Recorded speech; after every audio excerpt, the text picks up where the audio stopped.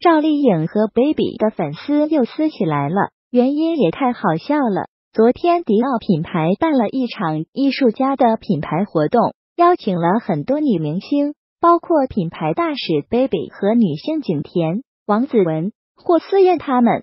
本来以为同作为品牌代言人赵丽颖会一起来的，没想到全程没见她的踪影。而且就后来的迪奥官微官宣的时候，也只艾特了 Baby 一人。于是大家都猜测，难道赵丽颖的中国区品牌大使资格被撤了吗？其实不管撤没撤，赵丽颖自从被说要担任奥迪的大使以来，就一直备受争议。从去年九月，迪奥官方宣布。赵丽颖将担任继 Baby 黄轩后的第三位中国区品牌大使。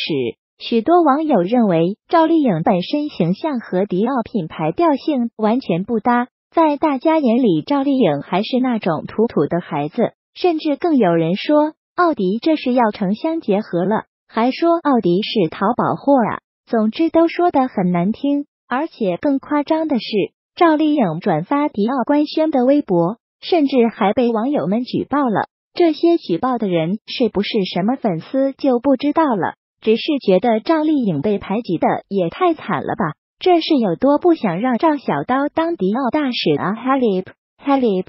赵丽颖和 Baby 的粉丝又撕起来了，原因也太好笑了。但是赵丽颖自己也是不争气，她在迪奥的一个宣传视频中，因为把 What Would You do for love 发成了极具中式英语口音特色的沃特乌丢豆否辣舞，而被网友群嘲，就是因为这个赵丽颖和奥迪的事情，基本上成了全网黑了。后来赵丽颖还因为这件事跻身二零一七明星热门事件话题榜单了，排名第九。在一群秀恩爱和情侣撕逼之中，透露着单身狗的清香。不过这些喷子中，据说都是 baby 的粉丝啊，说的更是过分啊，说赵丽颖这是在耍手段抢占 baby 的资源啊。总之没啥好话，而且这些话被网友扒出都是 baby 粉丝在说的。两家粉丝为了这个事情，看来还是撕的挺辛苦啊。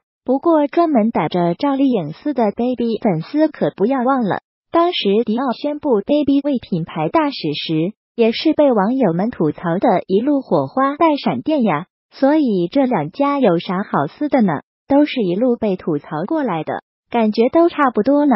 只是这次迪奥微博进行活动官宣，只艾特了 A B 一人，网友们纷纷猜测赵丽颖与迪奥的合约到期，品牌大使身份可能被撤了。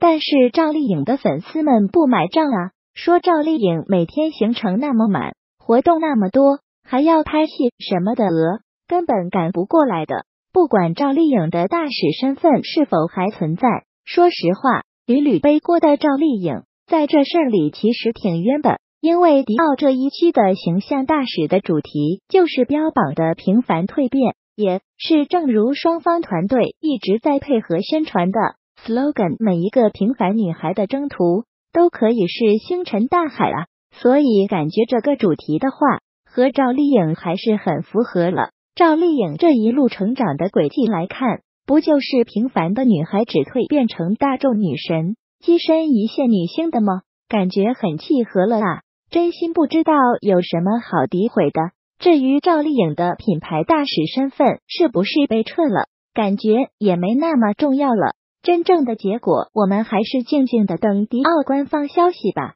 不管以后迪奥的品牌大使人选会是谁，看到粉丝每天围着这个那个撕来撕去的，真心累啊！小编不在意啊，小编只希望世界和平。